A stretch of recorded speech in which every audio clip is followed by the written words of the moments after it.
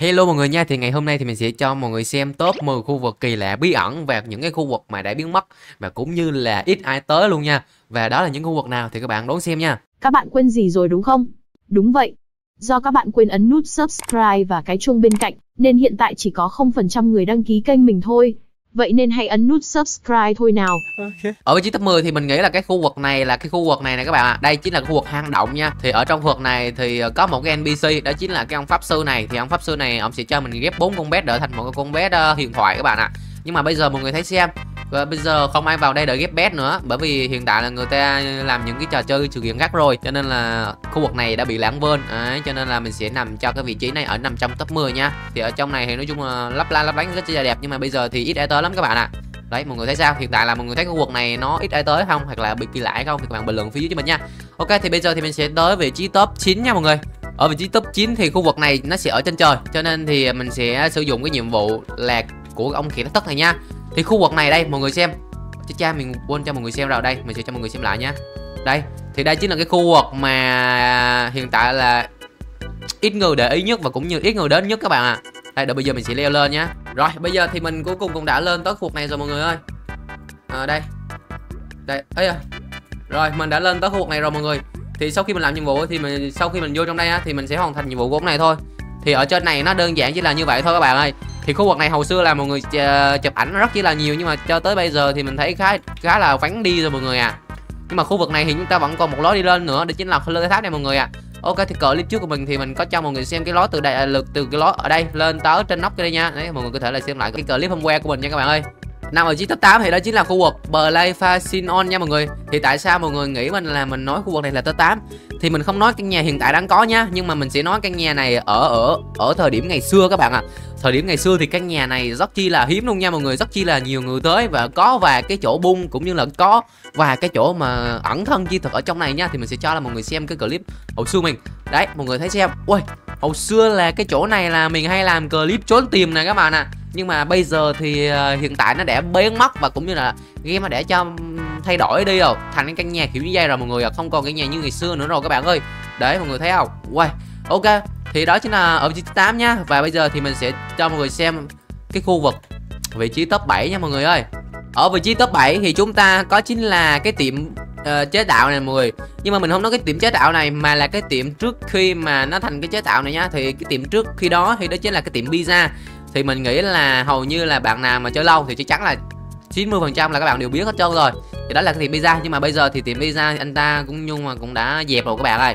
Đấy bây giờ không còn mọi người. Thì thay thế đó chính là anh tiệm uh, chế tạo đồ nhá. Nói chung là cái uh, khu vực này thì hồi xưa thì nó rất là ít người chơi nhưng mà cho tới khi uh, game cho nó biến mất cái khu vực này thì bây giờ rất nhiều người quan tâm. Nhưng mà cho tới thời điểm bây giờ thì không ai quan tâm nữa luôn bạn ạ. Ok thì bây giờ thì mình sẽ cho mọi người xem tới vị trí top 6 nha. Ở vị trí top 6 đó chính là cái khu vực này các bạn. Đây chính là khu vực sân bóng chày nha. Và mọi người hiện tại mọi người thấy xem hiện tại là cái sân bóng chày này hiện tại là không còn ai tới rồi rồi. Thì khu vực này rất chi là hiểu lãnh luôn nha các bạn ơi.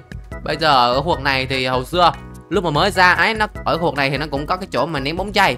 Đấy nhưng mà bây giờ mọi người thấy xem hiện tại là mình thấy là không ai tới hết. Không ai tới khu vực này để chơi bóng chày các bạn bởi vì khu vực này thì nó kiểu như là một phần là uh, mình cũng không thể chơi cái trò này lắm. Đấy nhiều cũng không thể chơi trò này lắm. Với là khu vực này hiện tại cũng như là ghẻ đánh rồi lúc mới ra nó nhiều lắm. Nhiều người tới đây uh, chơi thử lắm nhưng mà bây giờ hiện tại mọi người thấy xem ít ai tới lắm các bạn ơi. Đấy thì mọi người thấy khu vực này mọi người có ít tới không? Thì mọi người bình luận phía dưới cho mình nhé ok thì bây giờ thì mình sẽ cho mọi người xem cái vị trí ở top 5 nha khu vực vị trí top 5 thì đó chính là khu vực bệnh viện này nha, ở vị trí nhà nha các bạn ơi. Thì khu vực này tại tại sao thì mình cho nó nằm trong top 5 bây giờ thì mọi người thấy xem hiện tại khu vực này à, bệnh viện này á, là không ai tới ghé tới để à, hỏi thăm à, kiểu như là thuốc thang rồi nè. Đấy, có những việc ở đây ta bán thuốc này cái thứ này, động vật rồi cái thứ nè. Đó khám bệnh rồi cái thứ nha. Nhưng mà hiện tại mọi người tới xem không ai tới khám luôn, cho nên là bệnh viện này nó ế trọng ngó các bạn ạ. À. thì cái bệnh viện hiện tại là mọi người vẫn đang tới, nhưng mà nó là ở khu trung tâm thì bệnh viện ở khu trung tâm thì nó có lầu nó to cấp ờ, tầm cỡ đây thì tầm cỡ ba bốn lần các bạn. Cho nên cái biển cái bệnh viện này nói chung hiện tại là người ta cũng đã lãng quên đi một phần rồi các bạn ơi. Nói chung mà không biết sắp tới tương lai thì là cái là cái sự cái bệnh viện này uh, mọi người còn ờ, để ý tới hay không? Đấy thì uh, chờ thôi các bạn ơi. Ok nhá và bây giờ thì mình sẽ tới cái vị trí top 4 nha các bạn ạ. Ở vị trí top 4 thì cái khu vực đó chính là khu vực camping nha. Thì tại ngay căn nhà này luôn thì tại sao mình nói ngay cái căn nhà này thì là cái khu vực mà bí ẩn kỳ lạ cũng như là ít ai tới nhất?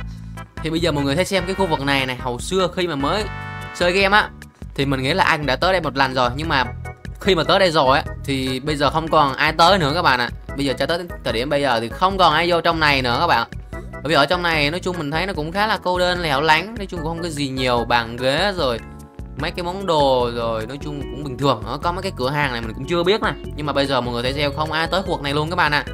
thì cái khu vực này đi chính là cái chữ camping ngay cái tòa nhà luôn nhá khu vực này nha các bạn. Trừ khi là nhiệm vụ hay là sự kiện này thôi. Thì ờ, nó mới tới đấy các bạn ạ. À. rồi thì đó chính là đây là chính là khu vực ở nằm trong top 4 nhá. Rồi thì bây giờ chúng ta sẽ tới cái khu vực top 3 nha mọi người.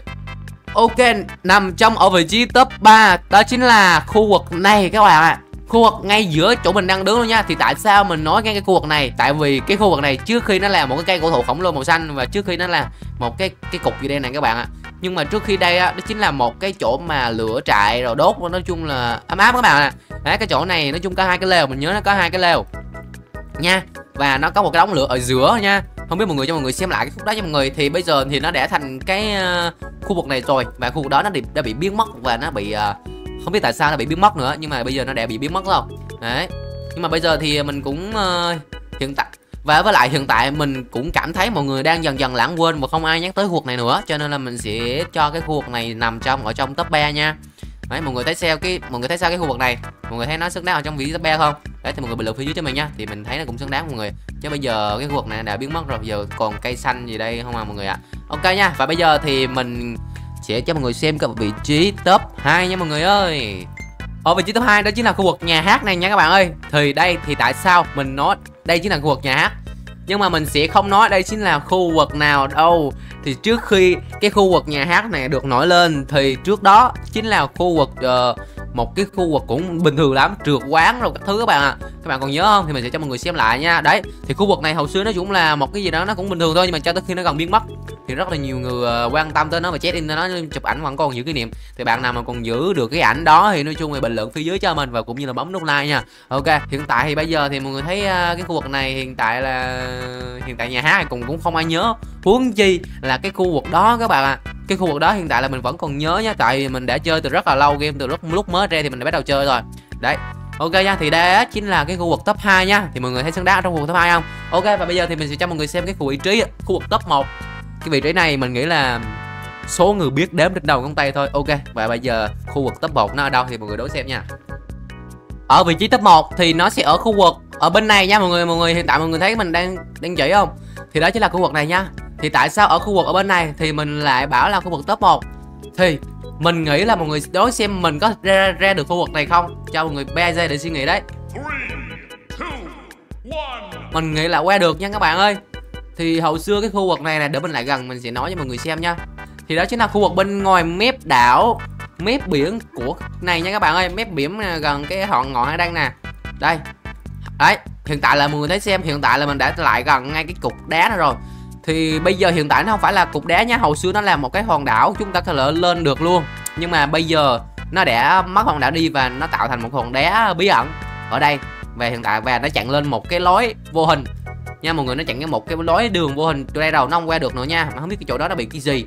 Nhưng mà hồi xưa mình qua được nha các bạn. Đấy mình để mình đi tuốt ra ngoài biển đây rồi mọi người thấy không? Mình đi tuốt ra ngoài biển đây thì mình có thể đi ra được cái chỗ này rồi. Nhưng mà nó chặn một cái đường tường ở trong này nó không vô được cho mọi người xem cái gì ở bên trong làm cái gì đó. Gớm lắm các bạn ơi.